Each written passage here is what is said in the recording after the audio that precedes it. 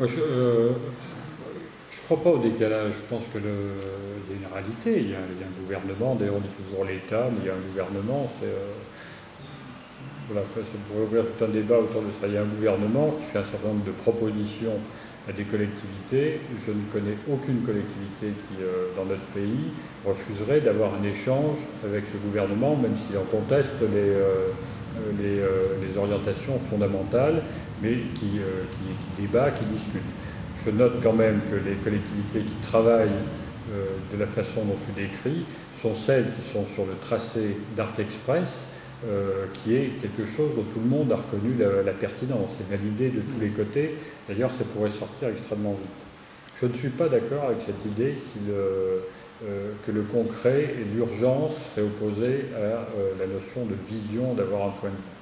Là, le débat aujourd'hui porte sur le tracé du Grand 8, sur la méthode, moi, je souhaite que, et c'est le, je pense que c'est le, la plus-value pour apporter Paris Métropole, c'est qu'on ait un débat sur ce qui sous-tend fondamentalement euh, les projets des uns et des autres.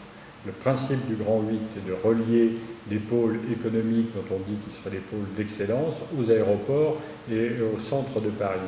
En soi, ce ne serait pas forcément euh, contestable, mais ça traduit une vision de la métropole, malheureusement, ou en creux, qui n'est pas une vision solidaire, qui n'est pas la vision de, ce que l'on peut avoir aujourd'hui d'un nécessaire développement qui, euh, qui mixte beaucoup mieux les lieux d'habitat avec les lieux de, travail, qu'ils soient de production ou intellectuels.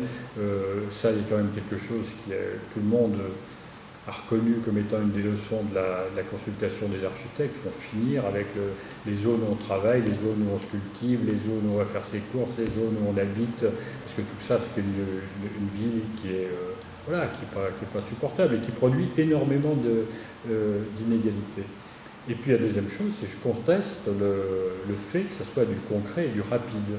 Ce n'est pas vrai. Le temps de constituer la société tel que le, dit euh, Christian Blanc, la Société du Grand Paris.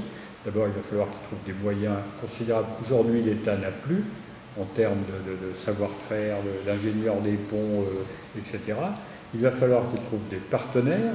Aujourd'hui, il n'est pas sûr qu'il trouve des partenaires qui sont pourtant indispensables, c'est-à-dire les collectivités locales, celles qui depuis 2006 euh, ont mis des centaines de millions d'euros en plus dans les transports collectifs en Ile-de-France et même s'il y a énormément de rattrapage, et je rappelle que le retard est essentiellement dû à l'absence d'investissement de l'État, ce même État dont aujourd'hui on nous dit qu'il deviendrait stratège, qui depuis 40 ans n'a rien investi dans les grandes infrastructures. On est la seule métropole en Europe à n'avoir pas fait de nouvelles infrastructures de transport lourdes.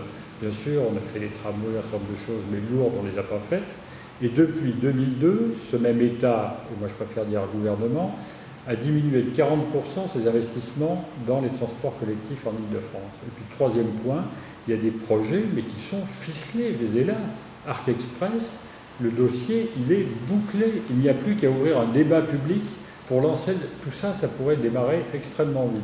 Si après on veut donner un coup de main pour raccourcir des procédures administratives, peut-être, mais il y a un temps qui ne peut pas être raccourci, c'est celui de la consultation euh, démocratique faire attention sur le fait que la Commission nationale du débat public, qui n'est pourtant pas une instance qui est euh, habituée à, dire, à s'exprimer à tort à travers, dit que ce qu'il y a dans le projet de loi n'est pas acceptable du point de vue du temps consacré à la consultation des citoyens.